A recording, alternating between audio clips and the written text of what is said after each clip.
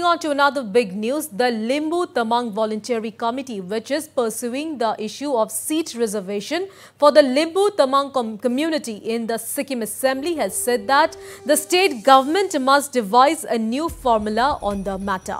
Talking to a news person's LTVC member Dipak Tamang also reiterated that the committee demands seat reservation from the existing 32 legislative assemblies.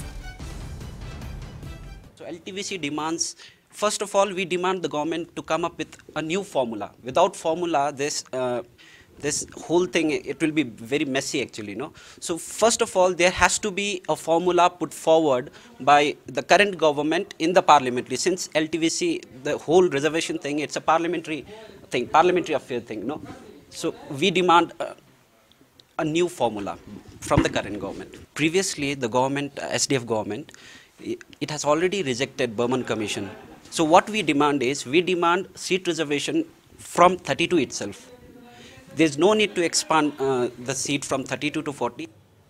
Not only this, the Limboo Tamang Voluntary Committee has also questioned the role of the lone Lok Sabha MP from the state, Indra Hang Subba.